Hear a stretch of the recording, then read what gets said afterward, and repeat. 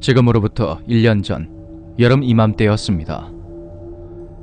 20대 후반인 저는 전역 후 이직을 준비하고 있었죠. 그러던 어느 날 태영이라는 동생에게서 연락이 왔습니다. 메시지를 주고받으며 약속을 잡은 우리는 서울에서 만나서 술을 마시며 이런저런 이야기를 나눴습니다.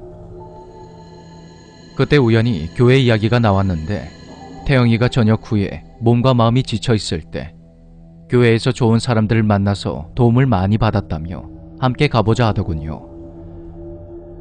모태 신앙이신 부모님도 제가 교회에 다니기를 바라셨기에 좋은 기회다 싶어서 선뜻 그러자고 했습니다.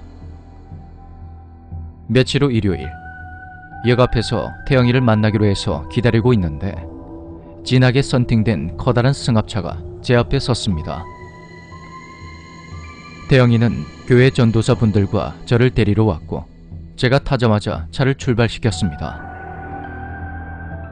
태영이는 늦어서 미안하다며 보온병에 들어있는 어떤 음료를 따라줬는데 뭔가 좀 진득하고 시큼한 냄새가 확 올라오더군요. 저는 속이 좋지 않다며 끝내 음료를 마시지 않았고 교회 관계자라는 사람들은 묘한 미소를 지으며 저를 관찰하듯 바라보고 있었습니다. 그런데 가까운 곳에 있다던 교회는 한참을 가도 가도 나오지가 않았고 불안해진 저는 조용히 GPS 앱을 켰습니다. 무려 2시간 가까이 차를 타고 도착한 그곳은 산속에 있는 허름한 건물이었습니다.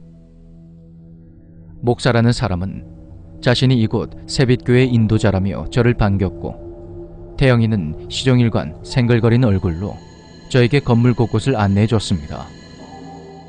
그러더니 대뜸 교회 안에 성수로 채워진 목욕탕이 있는데 그곳에서 목욕을 하라는 겁니다.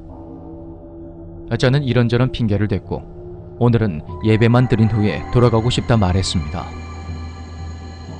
태영이는 나와 내 삶이 그 증거라며 의심하는 마음을 거두라는 이상한 말을 하기 시작했고 녀석을 따라 예배당 안으로 들어가자 다양한 연령대의 사람들이 인도자라 불리는 목사의 지시를 따라서 혼잣말을 중얼거리며 기도하고 있었습니다.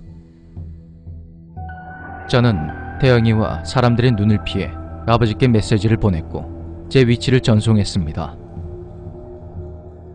그러는 동안 목사는 강단 위로 사람들을 불러서 소위 퇴마라는 기묘한 의식을 하고 있었습니다. 전 태영이에게 집이 일이 생겨서 곧장 가봐야 한다며 다급하게 매달렸고 그곳을 겨우 빠져나올 수가 있었습니다. 데려다 주겠다는 사람들의 말을 간신히 뿌리친 저는 큰 길가를 향해 뒤도 돌아보지 않고 뛰었고 버스 정류장 쪽에서 절 태우러 오신 아버지를 만날 수가 있었습니다. 그렇게 집으로 돌아와서 부모님께 자초지종을 털어놓은 후 메시지 어플에 접속해 봤더니 태영이가 알 수 없음으로 떴고 그 후로 연락이 끊겨버렸습니다. 고민 고민 끝에 다음날 경찰에 신고해서 확인을 좀 해달라고 했는데 순찰을 나간 경찰들 말이 제가 알려준 그 위치에는 폐 주거지만 있을 뿐 아무도 없다고 하는 겁니다. 태영이와 수상한 교회 사람들의 정체는 뭐였으며 제가 그때 교회를 빠져나오지 않았다면 전 어떻게 되었을까요?